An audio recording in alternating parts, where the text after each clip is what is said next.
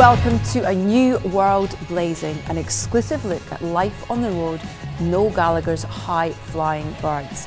From behind the scenes to front of stage, these wonderful, stunning pictures taken by renowned photographer Sharon Latham really capture the band at their most dynamic and their most intimate.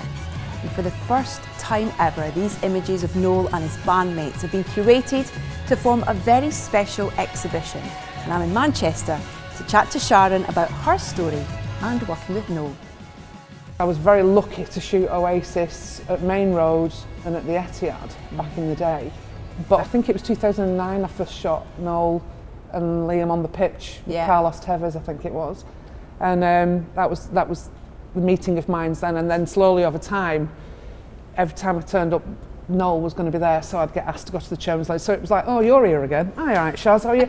so I'd end up sitting down having a chat and a drink, and then over time there was that many shoots, and Noel got involved in some of the um, film City TV stuff as well. So I got more and more involved with him. Yeah. And then I remember telling him that I was leaving. He was like, no, no, you can't do that. Because again, what I would do as well, I would capture moments for him on pitch. Yeah. So that I've got a picture of him with Sergio Aguero on the pitch, and he's got that in his house because he's literally hugging Sergio, and he's got the captain's armband on as Oh, well. wow. So those are things, and I sent that to him, and he's like, "Love this." Yeah. So when I said I'm leaving, he's like, "No, you, you, can't. Who am I going to get my photos off? What are you going to do?" And I said, "I'll come on tour with you." And he went, "All right." That was it? Yeah. I love it. I remember doing an interview at the boot launch and he, t- he told the same story and apparently Russ, his bass player, did exactly the same thing. He rang him up and said, hey, hey, hey, you're starting a band. Uh, you got a bass player? Yeah, that was it. So if you see my number on the internet, right, and you can do something that's vaguely fucking worthwhile, Give him a call. I'd say Friday nights is your best bet.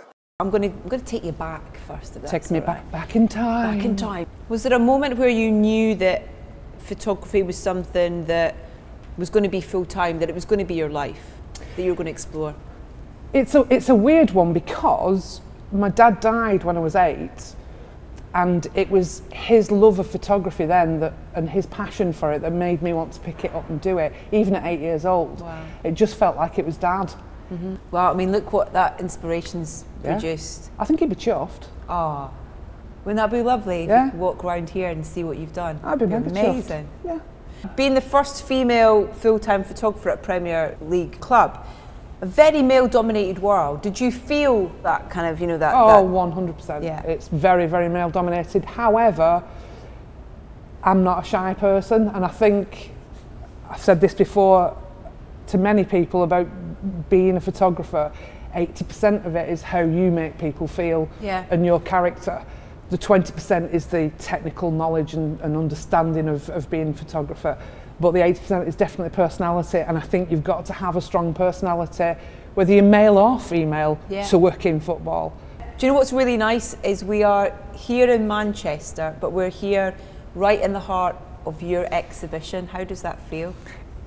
unreal and cool and uh, really exciting, really good. Being here in Manchester as well, in particular, there's this brilliant picture at Manchester Arena. Yeah. For me, that was the first time I'd photographed at the arena since the bombing, and it was with Noel, and I just found it very overwhelming. Oh, here's the Yeah, oh, honestly, because I've shot. Uh, this is my local area. This is my local town. This is, you know, the venues here are brilliant, and the arena is a brilliant place to shoot. But that was the first gig for me back, and it was. Um, yeah, I remember sitting on the stage and, and literally crying as I was photographing, which is unusual for me because I'm not a wimp. I'm a tough girl. But yeah, when you see them all stood up, and I mean, it, it's epic when you see Noel on stage and you're on that point of view, which is an unusual point of view. I don't know how singers cope when you hear those lyrics being sung at you so loud and so emotionally. Yeah. And especially in your hometown like that, I just found it very, very overwhelming. But it was it was incredible. And there's that one shot for me.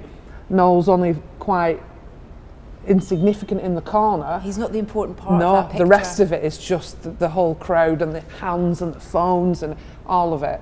And my daughter's in that picture. Can you see her? Yeah, Oh, I love that. yeah.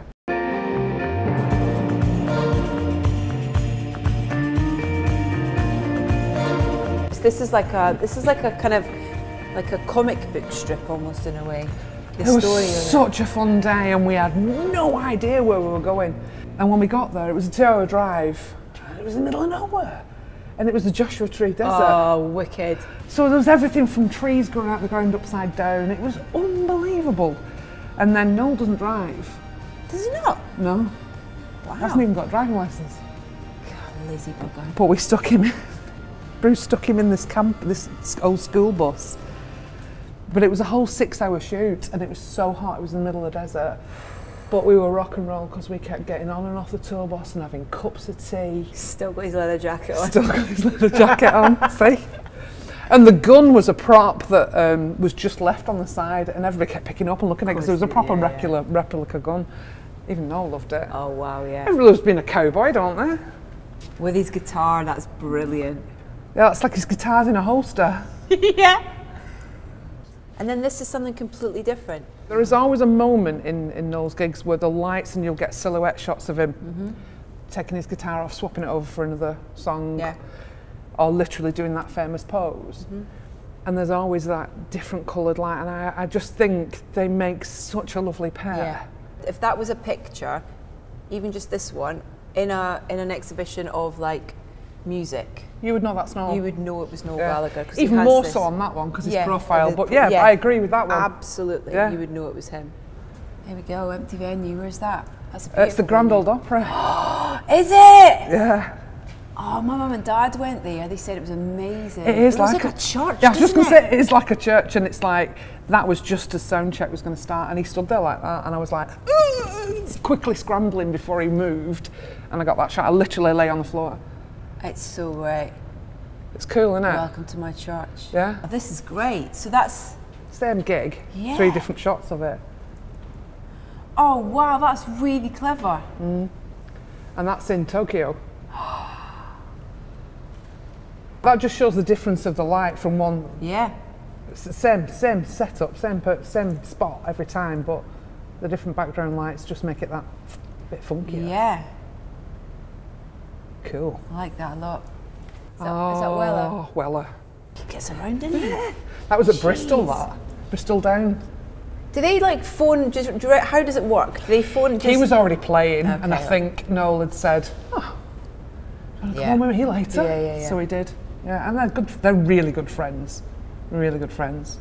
We were out one night and, uh, in the south of France, right, and I was out with Bono, right, and we ran, this, this is the fucking brilliant showbiz story. We ran into Elton John, right, okay, As you do. in this restaurant, as I do, Yeah, okay? as you do. Fucking 76 million records here, I do. and we ran into Elton John, and I said for a laugh, yeah, let's get a picture, I'll send it to Weller, because he'll fucking do his head in. And uh, so the picture we sent him was me uh, like this, in between Elton, Elton John and Bono. And uh, he texted me back immediately, and it just said, You've gone too far. lasers. Love a laser. Laser. I love a laser. Again, that's that. You know who it is, don't you? So powerful. I don't really move a lot on stage, as you're probably well aware.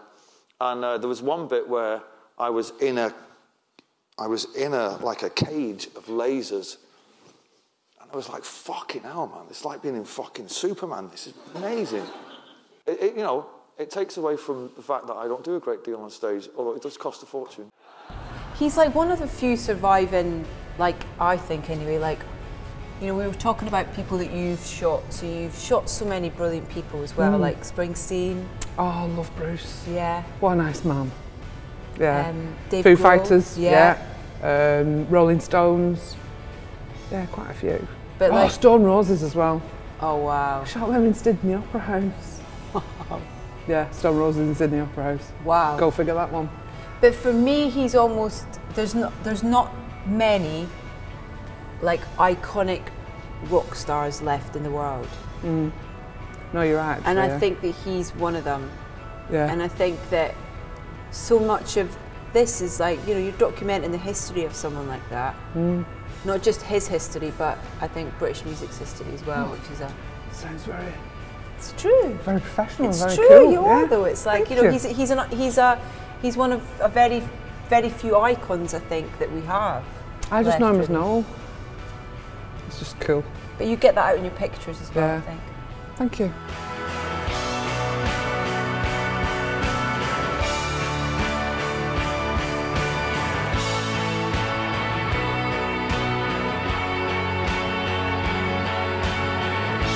This incredible exhibition, which really takes you on the road with Noel. You feel like you've been on stage with him in the band and behind the scenes as well, can be viewed and purchased online at redhouseoriginals.com.